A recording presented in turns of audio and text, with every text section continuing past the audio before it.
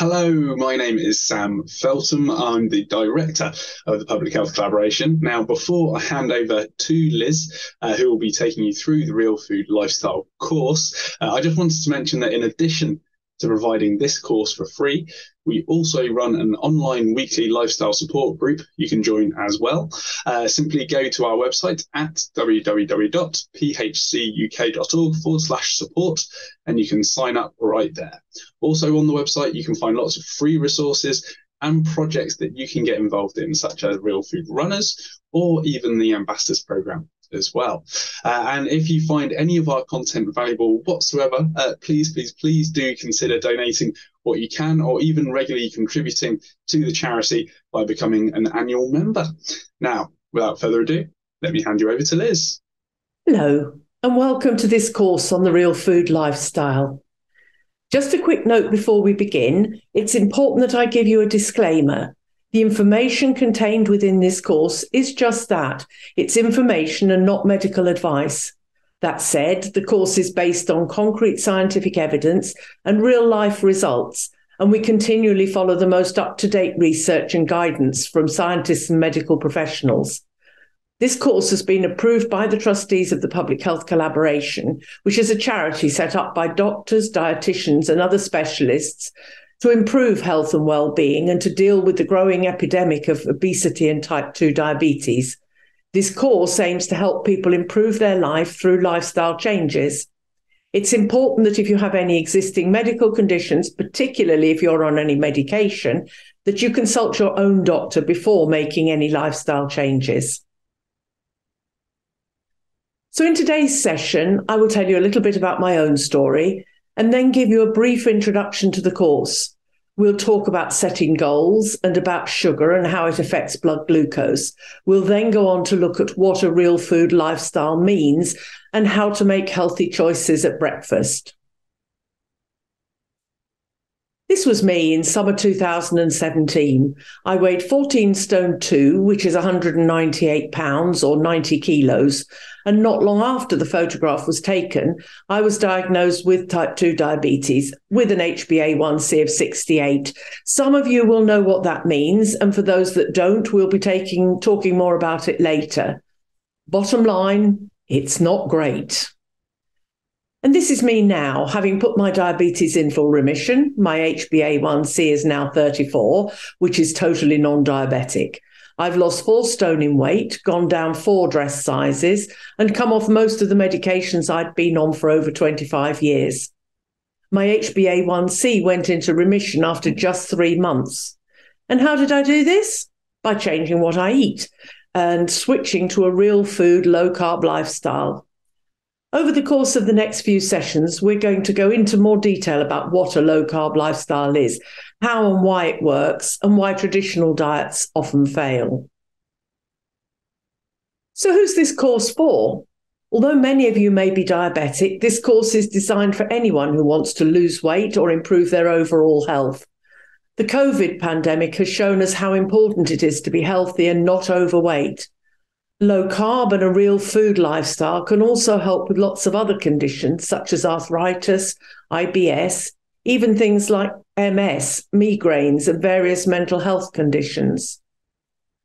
The course aims to help you improve blood glucose markers and other health markers like cholesterol and blood pressure, to help you lose weight and to feel better overall by introducing you to and helping you to adopt a low carb real food lifestyle. Note that we don't call this a diet. It's not a short term fix. How often do we fail with tradition, often low fat diets? How often have you lost weight only to pile it back on again? I know I did. I was overweight for my entire life, despite trying on numerous occasions to lose weight, going to Weight Watchers, losing a stone or even two, but then slipping back into the old ways and seeing the weight creep back on. This, on the other hand, is a lifestyle change. You may find it challenging to begin with, but I'm sure that once you've made the changes, you won't want to go back. I know I'll never return to eating the way I used to. As you progress over the following weeks, you may need to check with your GP or diabetes nurse because if you're on any medications, they may need to be altered. To start with, it's a good idea to have a record of your starting position. If you've had a recent blood test, say within the last six months, then you can use those as your baseline. If you've not had recent tests, you could request them from your own doctor. It's a good idea to make a note of your weight, and if you have your own blood pressure monitor, your blood pressure. Blood pressure monitors are generally inexpensive. In the UK, you can get them for about £20 and it can be a good idea to check at regular intervals. If you don't know what your recent blood results are, then you can ask for them. Just ring the surgery and ask them, or if you're in the UK, you may have an NHS login that gives you direct access to your results. There's a progress sheet available in the accompanying resources for this course, you can write all the numbers in that you can. We've included various measurements if you want to keep a record of them all, but your waist measurement is the most important, as this indicates the level of, level of visceral fat you may have. And as we'll see, that's an extremely important measure. Let's take a minute to reflect about what brings you here today. What are your personal goals?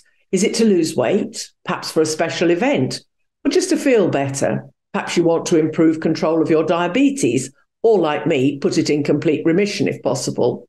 Or do you want to run around with the grandchildren? Maybe you want to improve your mental health and feel more positive about life. When I started, I wanted to put my diabetes in remission. And once I'd realized that it was achievable and that I was losing weight quite rapidly, I decided I also wanted to lose three stone before my daughter came home for Christmas so I could surprise her with a new mum and that became my new goal. So remember that your goals may shift over time. You may start with one goal, and as you get close to that, you may reassess and create a new goal. Think about how you feel now and what you could feel like in a month's time, or three months' time, or a year from now. You can pause the video for a minute and think for a moment about what it is you want to achieve and then write it down. This way, you can monitor your progress as you go forward. Here are some common breakfasts that we're probably all familiar with. Thinking about an average day, what do you usually have for breakfast? Here, as I say, we have some of the usual ones cereal or porridge, toast and toppings, yogurt with fruit and granola, eggs with sausages or bacon, beans on toast, a banana, fruit juice, or a smoothie. These are common for, to many of us wherever we are in the world as well. Putting aside for the food for the moment, though, I presume most of you have tea or coffee in the morning as well. If you're diabetic or you've tried to lose weight, you may have given up having sugar in your tea and coffee. And why have you done that? Probably because you've been told you should give up sugar if you're overweight or diabetic. This is because when you eat sugar, it digests down into glucose, which increases blood glucose levels, and too much glucose in the blood can eventually lead to type 2 diabetes. So, if your doctor or nurse is worried about your blood glucose levels, they will certainly have suggested you give up sugar. But suppose I now tell you that many of the things you may be eating for breakfast have the same effect on your blood and your blood glucose levels as the sugar you put or used to put in your tea and coffee. This chart is one of several developed by Dr. David Unwin, who's an award winning GP in the north of England to show how common foods affect our blood glucose levels. If we look at brown bread, for example, we can see that just one slice from a small wholemeal loaf is the equivalent of eating nearly three and a half teaspoonfuls of sugar.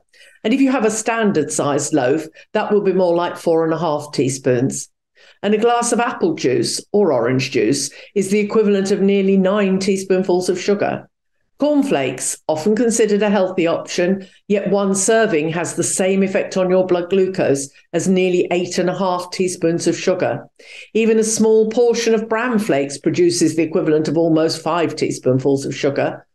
And this isn't because they necessarily contain sugar. Indeed, many cereals like bran flakes tell you on the front of the packet quite clearly that they don't contain sugar but they are carbohydrates, and all carbohydrates turn into glucose in just the same way as sugar does. This is sim- a simple drawing of an iceberg, which represents all the things that digest down into glucose. Above the water level, as you can see, is just the tip of the iceberg, with things like sugar and the obvious things like cakes and biscuits that we all know we shouldn't have. But it's not just the sugar and the sugary items. All carbohydrates are broken down into glucose by the body. Things like honey. Unfortunately, it doesn't make any difference that it's natural. Your body can't tell the difference. It's all glucose. Syrups like agave or maple syrup, fruit juices, but perhaps also, um, perhaps more surprisingly, things like pasta, bread, cereals, rice, and potatoes, which we don't necessarily associate with being sweet or sugary at all. For instance, suppose you have a nice stew in the winter and you have boiled potatoes with it. How many spoonfuls of sugar do you think the potatoes might be equivalent to? Have a little think about it for a moment. Well, the answer is nine. And what about if you had a curry or a chili and some rice with it? Do you think that rice might be better? How much sugar do you think the rice would be equivalent to? More? Less? About the same? What do you think? Well, the answer is 10. If you have those ready to eat packs of rice that you heat in the microwave, those are 125 grams a portion, that is half a bag, which has the same effect as eating eight teaspoonfuls of sugar. But let's turn to something which we know is more healthy. What about a banana? We all know fruit is good for us, but how much sugar do you think one banana might be equivalent to? Well, one average banana, not a giant one, and certainly not three, as in the photograph, is equivalent to six cubes or spoonfuls of sugar. Modern bananas have been bred to be very sweet and, as such, are really best avoided. Dr. Unwin calls them nature's candy, hanging off a tree, just ready for you to grab. So now we so uh, know some of the things to avoid, the foods that break down into glucose in our bodies. The question is, what can we eat? And the answer is lots of things. How does this look? Do you like strawberries, eggs, nuts, roast beef, salmon, cheese? Whole load of foods that are perfectly healthy for us to eat. If we take a quick look at the list, we have meat, preferably unprocessed. Um, though some of the processed ones, where they're minimally processed, sort of traditionally cured meats, uh, uh, like salamis, um, are okay. But otherwise, any ordinary meat, be beef, chicken, pork, lamb, turkey, I don't know, venison, um, especially the fattier cuts. Fish, all fish, especially oily fish like mackerel, salmon, and sardines, because these are rich in anti inflammatory omega 3 fats, so are really good for us. Eggs in any form you like omelettes, boiled, poached, fried, whatever. Cheese, preferably hard cheeses, though some soft cheeses are fine as well. You really need to look at the packets, but hard cheeses are almost always very low in carbohydrates and they're a good source of protein. Full fat dairy, full fat yogurt, thick cream, butter, ghee. Ghee, of course, is clarified butter. Oils, coconut oil and olive oil. Nuts and seeds, especially macadamias, pecans, almonds, Brazils, not peanuts and cashew nuts, which are both very high in carbohydrates vegetables, especially the green and leafy ones, and those generally that grow above ground. Go easy on the uh, ones that grow underground, the root vegetables, because these are the starchy ones. Some fruit is fine too, things like the red berries, strawberries, raspberries, blueberries, blackberries. Not the tropical fruits like banana and pineapple. We all know sugar needs fruit to ripen, um, even in colder climes, we only get a very short fruit season and only certain fruits. Whereas in the tropics, things like bananas and pineapples have an awful lot of sun for very many hours of the year um, and therefore develop a lot more sugar within them. Dark chocolate, I'm sure you'll be pleased to hear, is also fine. Anything preferably 85% cocoa content or above. If you find that challenging to begin with, then maybe try going from your milk chocolate that maybe you have now to something like 70% cocoa, which has a lot more sugar in it than does the 85%. And then gradually move upwards. You can go 85% and above, 90%, even 100% is all fine. In effect, we've taken out the processed and carbohydrate rich foods like cakes, breads, pasta, rice that cause damaging increases to our blood glucose, and we've replaced them with foods that contain healthy fats. This is a low carb, healthy fat lifestyle, or LCHF. You'll often see that abbreviation, or you can look up online about LCHF recipes, for example. Now, can I hear some of you with a bit of silent panic going on here? What about the fats? Won't this be bad for us? And the answer is no, it won't. A low carb, healthy fat diet is rich in healthy fats. And this is the point. And there's no scientific evidence at all that saturated fats cause heart disease. And indeed, healthy fats are essential for our body's vital functions. We'll go into this in much more detail in a later session, but for now, don't be scared of fats. The key word here is healthy.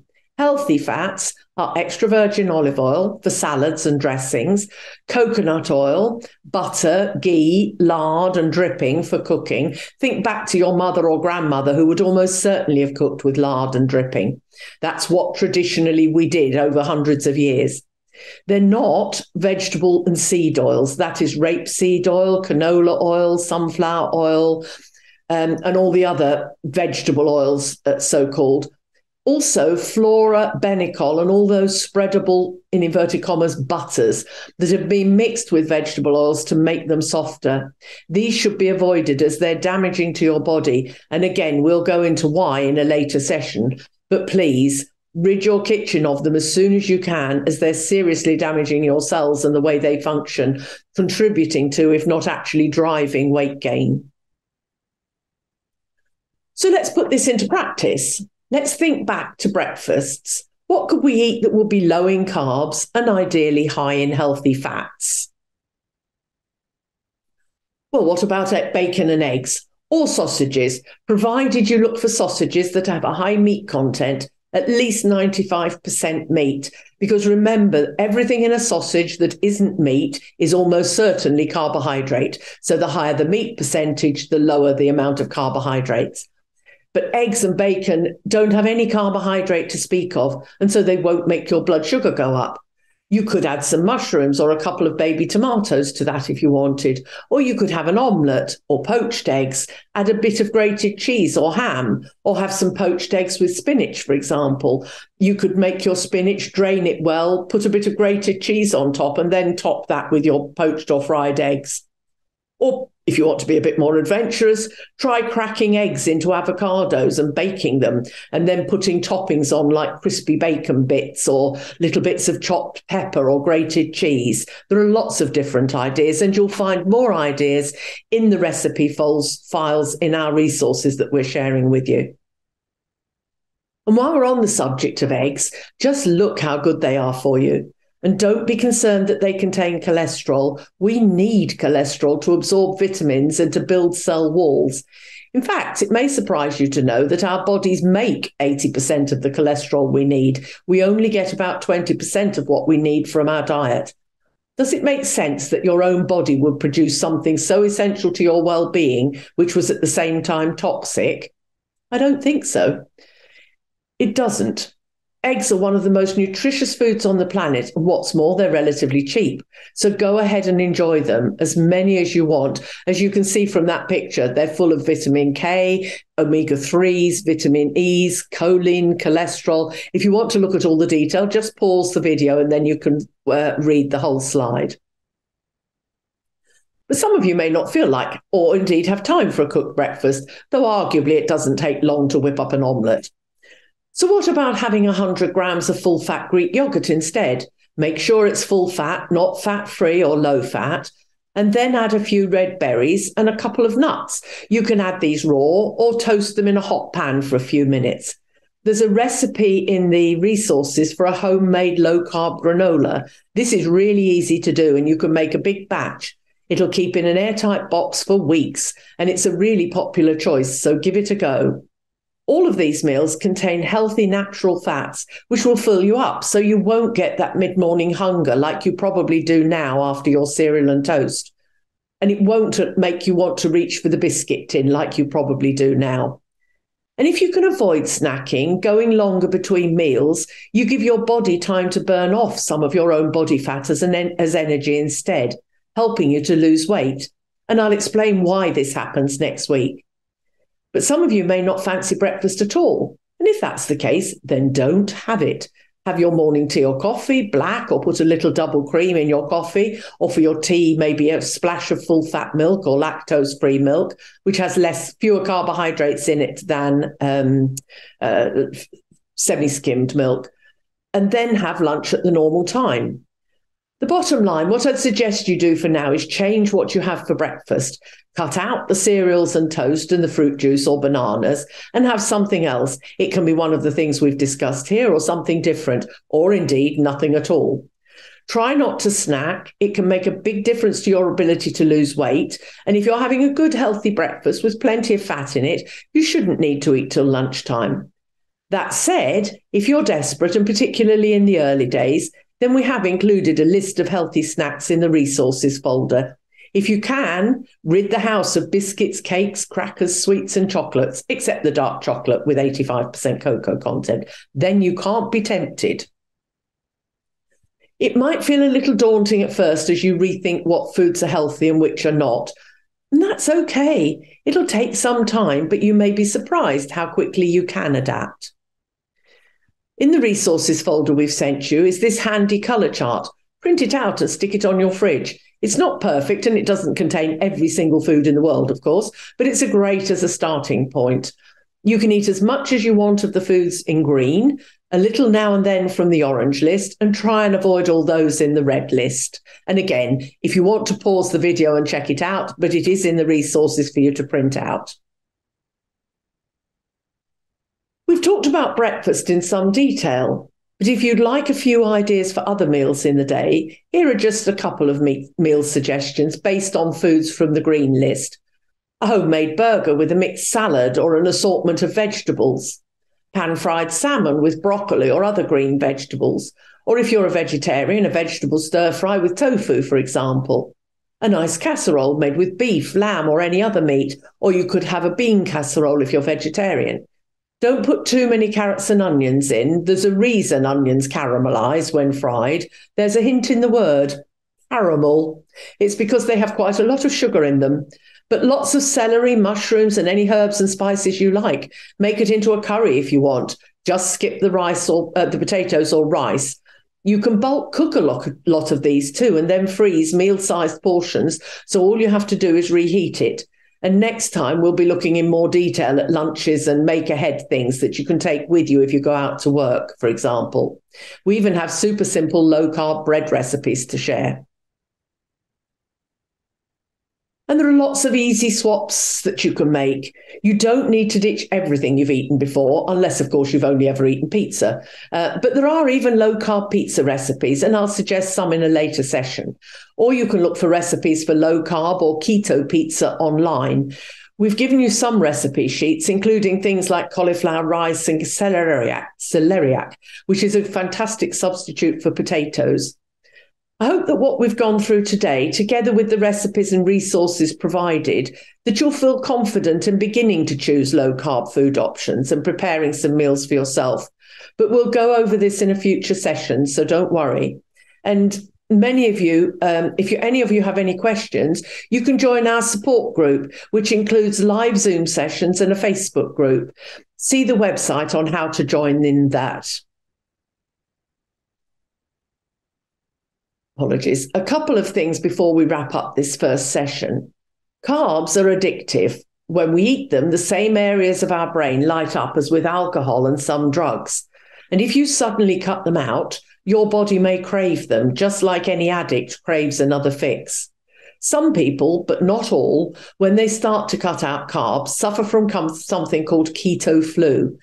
Keto is short for ketogenic, which just means very low carb. The symptoms are a bit like a nasty cold or flu, hence the name, and can last for three or four days, but it's not an illness. This is just your body adjusting to the changes and it will pass. Don't think, oh, this diet's not for me, I can't do this, and give up. You can, and if you persevere, you will come out the other side feeling so much better. But do make sure you drink plenty of water. This is really important, about two litres a day, and your tea and coffee counts towards those two litres. If you would prefer, uh, if you would normally take something for a headache and you get a headache, paracetamol, for example, then you can take that. But drink plenty, and you may find you need a little more salt than you're used to. So add that to your meals. If you get cramps, particularly in the night, this can be a sign that you need more salt. Or you might think of taking a magnesium supplement, which can also help. Um, you can often find a magnesium spray, which you can spray directly on your legs, for example, if you get cramp in your legs during the night or you get you know irritable legs legs fidgety legs all these things are quite common and nothing to worry about. Your body is just adjusting to a whole new way of eating. So stick with it and you'll soon feel a lot better. One other important note if you're taking metformin for diabetes, you can go on taking that as normal. And then hopefully, when your HbA1c has come down, you can discuss with your doctor or diabetes nurse the possibility of reducing it. If, however, you're on any other medication, particularly insulin or gliclazide or one of the Flozin medications, you must discuss reducing this from the outset and not waiting until your HbA1c comes down. Let the doctor or nurse know that you're following the low carb course, and they will be able to advise on, on reducing your medication as soon as you start the course if you have difficulties and they're not uh, familiar with low carb, then contact us and we can send you um, a sci- copy of a scientific paper that you can hand to your healthcare professional. If you have type 1 diabetes or type 2 diabetes, and you've been on insulin for quite a while, more than just a few weeks, it is vital that you do not cut out all the carbs from day one. You must take it more gradually. For example, start by changing your breakfast from cereal or toast to yogurt and berries or eggs, for example, but keep everything else the same as you have been doing. Then, after a couple of weeks of doing that, maybe think of cutting out the potatoes or the rice or pasta from your supper three or four times a week and gradually build up. But again, at each stage, continue it for two or three weeks. Just gradually reduce the carbs in your meals over a period of a couple of months or so and check your glucose levels regularly. If the levels drop, then have a conversation with your nurse or GP about reducing your medication. So, to sum up, We've looked at how sugar affects our blood glucose levels and why increased blood sugar is bad for our health. We looked at Dr. Unwin's charts and saw carbohydrate and starchy foods also affect our glucose levels in the same way as sugar, which is why we need to avoid them. We've discussed how to replace carbohydrate rich foods with nutrient dense foods with plenty of healthy fats and begun to explore the many food options that are available to us in a low carb real food diet the most important thing for you to take away from this today is that you can start making changes that will improve your health now and into the future, and that it's okay to start small. Begin with breakfast. Could you swap the toast and jam for an omelette? Could you swap out the cereal and milk for full fat yogurt and berries? Or instead of a burger and chips for dinner, have a burger and salad? Or swap out your regular rice for cauliflower rice? Just start somewhere you'll feel you start you you'll feel you'll find you'll start to feel better quite quickly and you'll have more energy and feel more motivated to keep going of the 16 patients who attended the first low carb course I ran with my local uh, surgeries, 12 of them put their type 2 diabetes in remission. Many people also lost significant amounts of weight, several more than three stone over a three or four month period, and all of them felt so much better. And there's no reason why you shouldn't be able to do it too. If I could do it and I'd been overweight my whole life, then anyone can.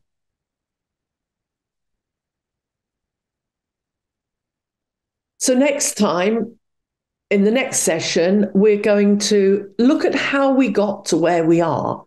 We're going to look further at insulin and the role that plays in our diet and the way our bodies work. And we're going to talk about lunches and the options there.